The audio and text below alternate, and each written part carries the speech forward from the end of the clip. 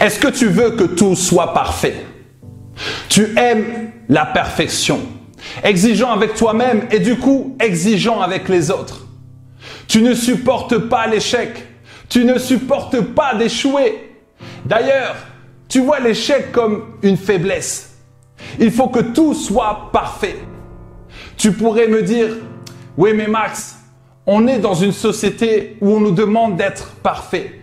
On nous pousse à atteindre des objectifs qu'on ne pourra jamais atteindre. On nous pousse à être le plus beau, la plus belle, le plus riche, le meilleur. Mais certaines personnes peuvent devenir dépressives, voire suicidaires, parce qu'elles veulent absolument atteindre cette perfection. Tes parents t'ont peut-être poussé à être fort, à travailler dur, à chercher toujours à être le meilleur. Ou alors, tu voulais prouver quelque chose. Est-ce que tu ne te sens pas épuisé? Mais inconsciemment, tu veux prouver aux autres que tu peux le faire. Tu veux prouver aussi à toi-même. Mais imagine que le monde soit parfait, mais on s'ennuierait. La question que j'aimerais te poser, qui te dit de faire tout ça? Pourquoi cette pression inutile? J'aime cette citation qui dit Viser l'excellence, c'est motivant. Rechercher la perfection, c'est démoralisant. Est-ce que tu as tendance à remettre au lendemain car tu as peur d'échouer? Tu te sens comme une victime car les gens ne te comprennent pas.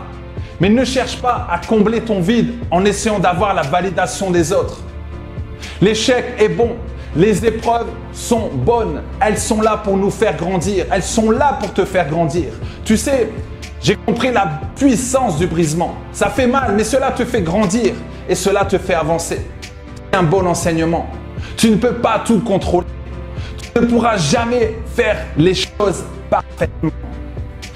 Il faut qu'il y ait des imperfections. Cela fait partie du processus.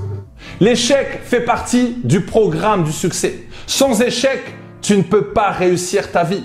Tu dois échouer, tu dois tomber, mais tu te relèveras plus fort.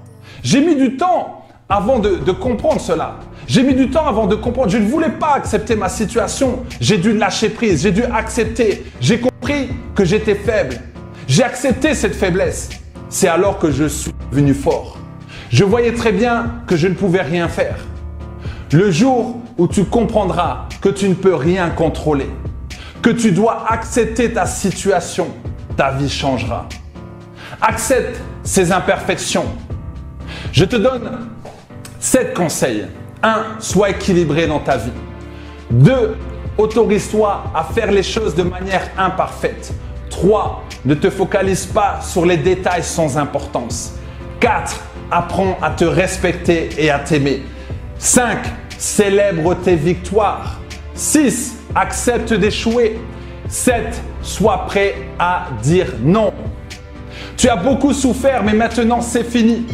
Tu as été assez longtemps cette victime. Maintenant, c'est fini. Tu as subi assez de moqueries. Maintenant, c'est fini. Si tu veux, envoie-moi un audio WhatsApp sur ce numéro 00352 621 43 42 92. Je te répondrai avec plaisir. Merci d'exister et surtout, merci de vivre. Yes!